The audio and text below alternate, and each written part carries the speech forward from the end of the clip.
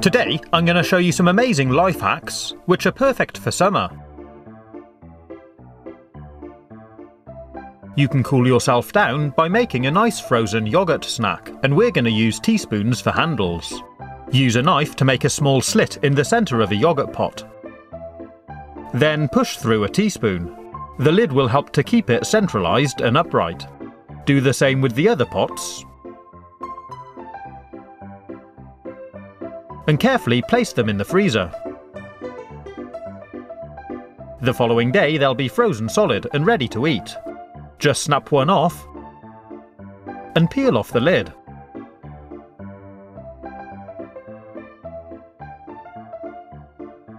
And you can put the rest back in the freezer for later. You can experiment with different flavours. And if you like, you can use sticks instead of teaspoons. I'm using these to make some mini ones.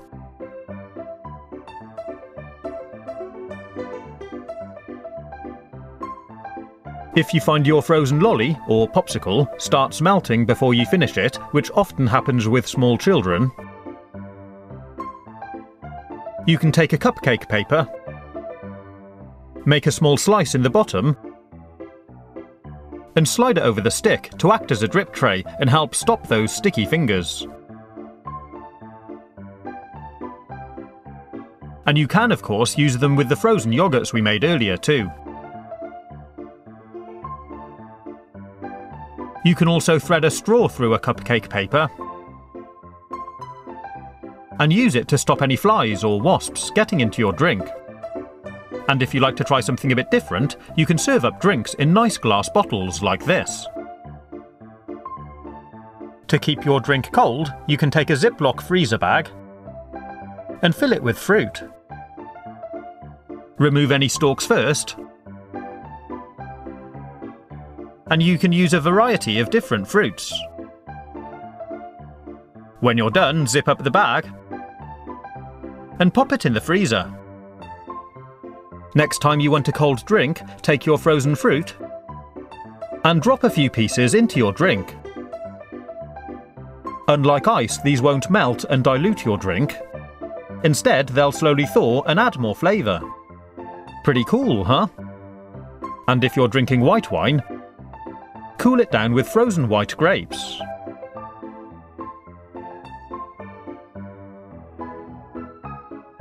If you want to cool down a whole bottle quickly, take a couple of sheets of kitchen paper and wrap it around the bottle. Give it a quick soak under the tap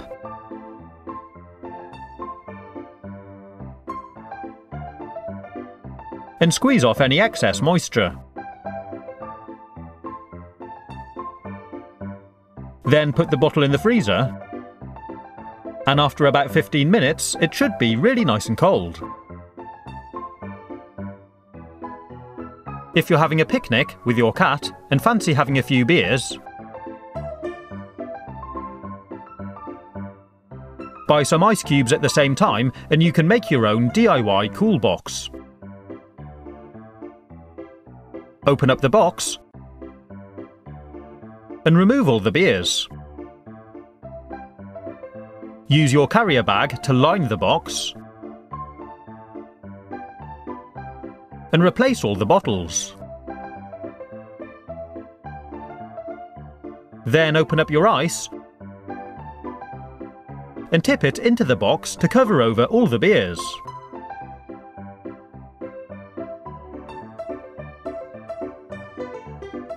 This will keep your drinks cold for a nice long time, and if you've done anything wrong, I'm sure your cat will let you know.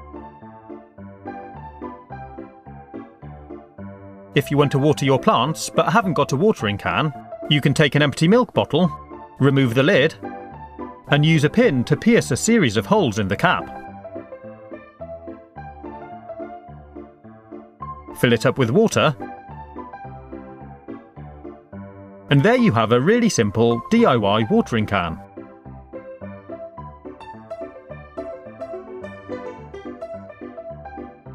If you're playing with water balloons, but find it a bit annoying having to fill them up at the tap all the time, Maybe you haven't got a tap with the right nozzle, or maybe you're going to the park and won't have access to a tap at all. You can take a soap bottle, like this, and fill it with water.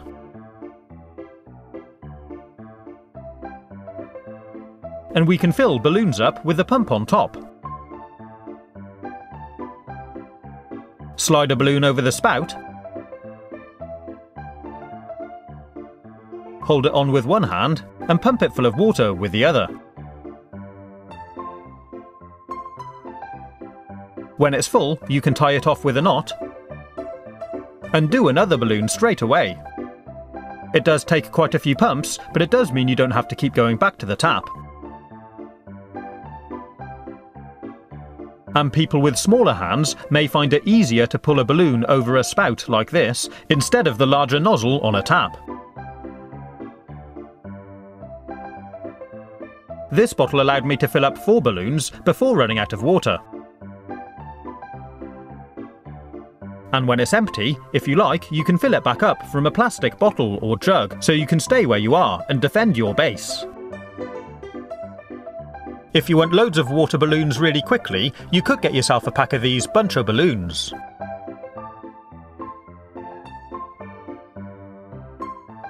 They're pretty easy to use.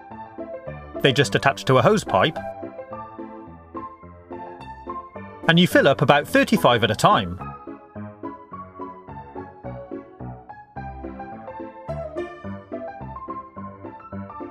and they reckon you can do about 100 balloons in a minute. They automatically tie themselves.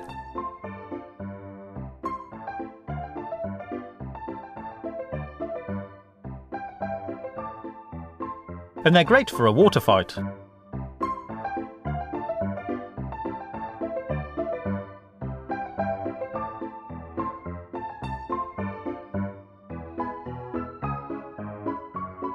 try and pick up all your rubbish at the end, but the balloons and O-rings are biodegradable.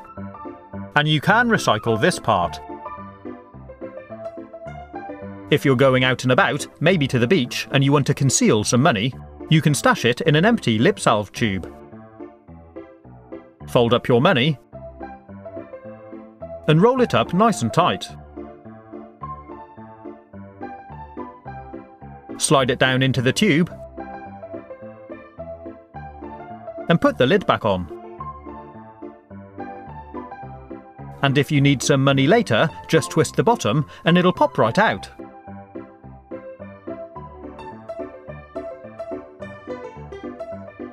If you want to stash more things like a credit card, some money, maybe some keys and a mobile phone, you can hide them in an empty pack of baby wipes.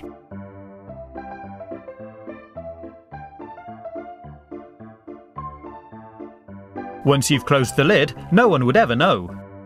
And if you keep it next to other packets, it'll look even more discreet. It's nice and easy to access your items. And if you wanted to, you could even hide your wallet inside.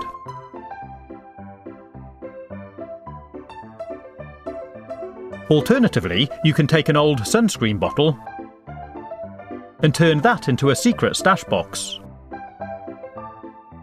and you'll be surprised at how much stuff you can fit inside. If you're worried about getting sand in your phone when you go to the beach, you can place it inside a Ziploc bag. Do up the zip, and you should find your phone still works perfectly well through the bag.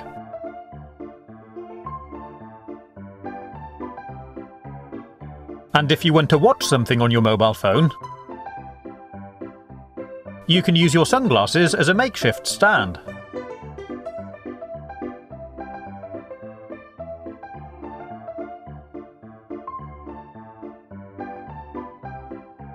If you're having a barbecue, but haven't got any firelighters to get it going, you can use some Doritos. clear a space, and put a small pile in the middle. Then take a match and light them up.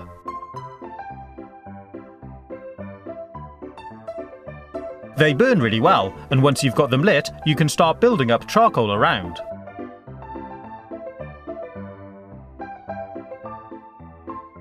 And it doesn't take long for it to really get going. If you haven't got any Doritos, you can use cotton wool and Vaseline. Take some cotton wool and cover it in Vaseline. This is nice and slow burning, so it works really well to start barbecues. Place it in the charcoal, light it up,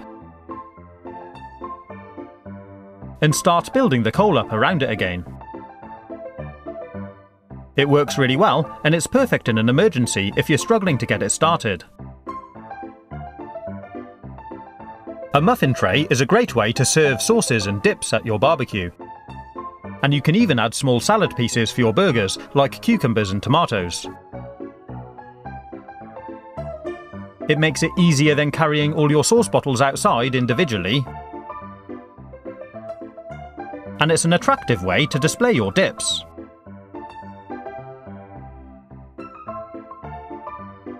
I hope you've enjoyed watching this video. If you want to see how to barbecue a pizza,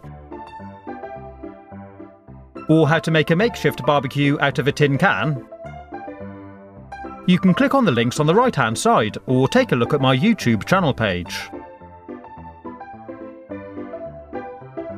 Stay safe, have fun, and as always, thanks for watching.